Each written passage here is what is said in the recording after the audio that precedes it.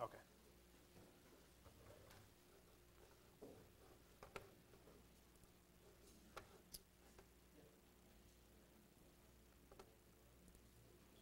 Okay. Um, so I just wanted to talk um, about a patient that I saw in the neuro-ophthalmology clinic uh, with Dr. Katz. Uh, this is a patient that saw her physician because of um, some migraines. And she was referred to neuro-ophthalmology because during the exam she was told that her left optic nerve was swollen. Um, she's 14 years old. These migraines have been going on for about three years. And review of systems was uh, negative except for that whenever she had migraines, um, she would also get blurry vision. Uh, her past medical history and, and family history uh, were non-contributory. Um, on exam, um, almost everything was very normal. Um, her acuity, tonometry, um, there's no afferent pupillary defect. Visual fields and extraocular movements were, were full bilaterally. Um, external exam and slit lamp exam were also normal. normal. Um, the abnormalities, though, became apparent on the fundus exam. On the right eye, um, everything looked very normal. Um, in the left eye, though, um, there was some nasal uh, elevation of the optic disc, and there was what appeared to be some anomalous branching of the vessels within the optic disc. And so this um, is her right eye and left eye on uh, fundoscopic exam. So you can see, you know, a, a pretty normal looking uh, optic disc over here, and then some nasal elevation over here, um, and some asymmetry between in uh, the vessel branching patterns between the left and right eye. And so the referring physician thought that she had papilledema from increased intracranial pressure. And so when looking at um, someone who might have papilledema or, say, an anomalous optic nerve, um, as far as symptoms go, if there's no other uh, disease process going on, um, the patient should be asymptomatic, whereas if someone has increased intracranial pressure, um, almost all of them um, have headache. Um, all, uh, some other very common symptoms are transient visual obscurations, um, pulse synchronous tinnitus, diplopia. On exam, if someone has papilledema, they'll frequently have a central cup that is maintained throughout the disease until the disease becomes very chronic, very long-standing.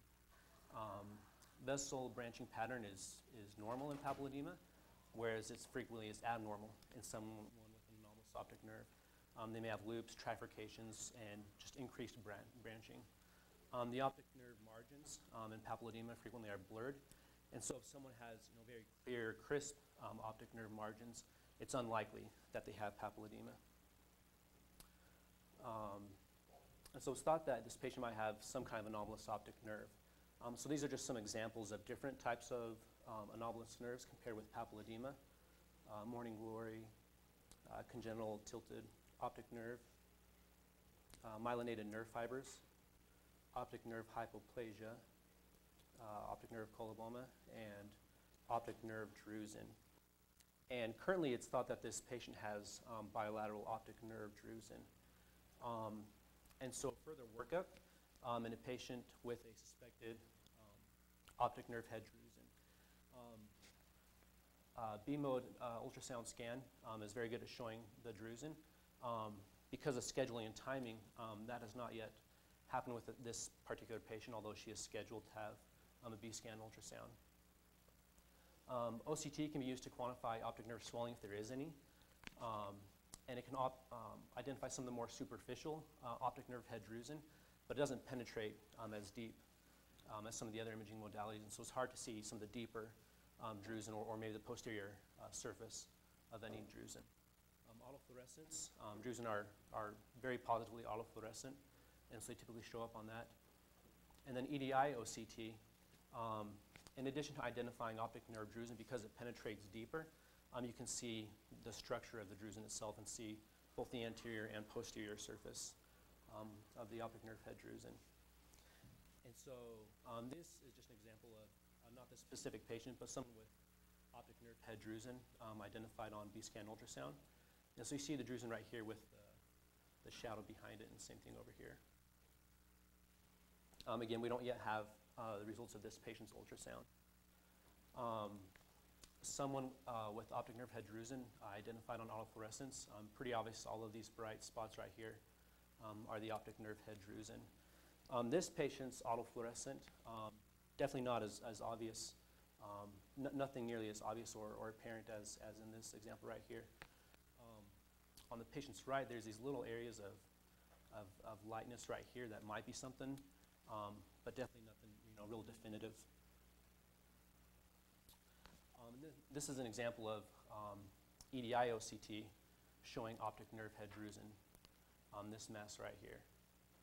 And so it'll be, um, know, it'll be more, it'll, it'll be lighter, I guess, on, on the image. In this patient's uh, EDI OCT, um, patient's right eye, patient's left eye, um, no, nowhere near as obvious as that previous example. Um, here on the patient's left, you can see the tilting of the optic nerve. You can see over here what might uh, look like some optic nerve head drusen. Um, and so we're waiting again for the ultrasound to, to confirm the suspected diagnosis. Um, and so assuming that this patient does in fact have bilateral optic nerve head drusen and no other, you know, uh, intracranial or uh, ophthalmic pathology going on, um, we would continue to follow her. Uh, we would examine her uh, fundus at each visit and compare what it looks like, you know, in the present uh, visit with any previous visits and see if there's any changes. And then similar thing, we would continue to monitor her optic nerve function uh, with visual acuity, perimetry, and other tests of that sort, and, and see if there's any changes, see if there's any deterioration that might point towards some kind of pathologic process going on that is starting to, to pick up. Um, and so that's that.